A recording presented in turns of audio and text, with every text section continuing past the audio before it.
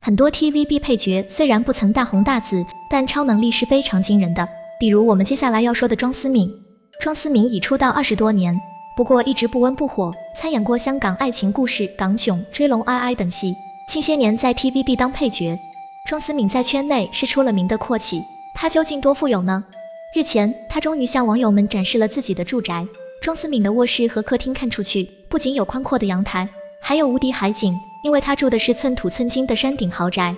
这套房子虽然只有庄思敏和两个妹妹住，但空间很大，有很大的餐厅，装修豪华。餐厅里有一张大大的圆餐桌，一个一闪而过的镜头里可以看到房子里还有楼梯，所以这应该是一栋别墅。庄思明的卫生间很大，长长的洗脸台上堆满了各种各样的日化用品。他的卧室就更大了，有大大的落地窗。其实这栋别墅还有很多空间没有展示，三年前他的婚礼就是在这里办的。照片里客厅尽显尊贵典雅，真皮沙发散发着奢华的光芒，四壁挂满了名画，楼顶还有一个大大的泳池。吸收日月之精华，山景海景尽收眼底。这样的山顶别墅，按照现在的行情，保守估计价值两亿。视频里，庄思敏还晒了十六款名牌包，多数是 H 标的，这些包便宜的也要三四万。她透露自己将到杭州很长一段时间，很担心妹妹觊觎这些包包。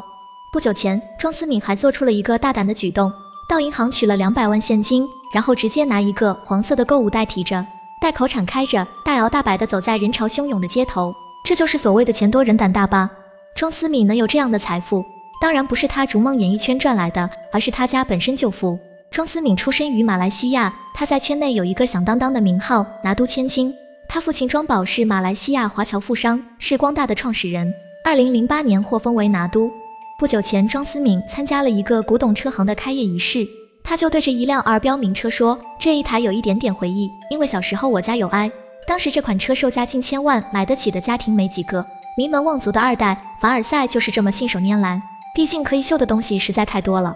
如今已四十三岁的庄思敏，曾经历过一段短暂的婚姻。二零二零年跟恋爱没多久的奶茶店老板男友杨秉义结婚，婚后没多久就开始分居，去年十一月份正式签字离婚。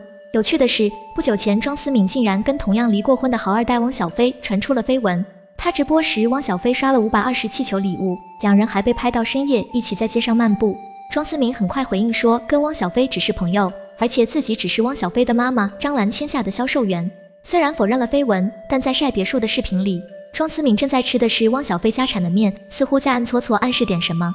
庄思敏跟汪小菲的交集还是挺奇妙的，不知道接下来两人会上演什么样的剧情呢？虽然出身名门，但这些年庄思敏在娱乐圈还是比较拼的。最早的时候，她以模特的身份出道，虽然身材高挑，但她对自己的外貌并不满意，所以不仅丰满了身材，还割了双眼皮。庄思敏之所以高调做手术，还大方承认整容，是因为跟一家整形机构有合作，酬劳不是很高，但她非常配合。作为豪门二代，庄思敏应该不缺这点钱，可能正好想整形，就顺便接下这个商务吧。毕竟在娱乐圈混，外貌还是很重要的。如今她没少秀身材，不久前还让网友帮忙挑泳衣呢。如今庄思敏还要告别山顶别墅，北上杭州打拼，不像很多富家子弟那样沉迷玩乐。他有这样的家世还这么努力，我们更要努力了。今天的节目就到这，如果您喜欢我们的节目，欢迎点击右下角订阅收藏不迷路。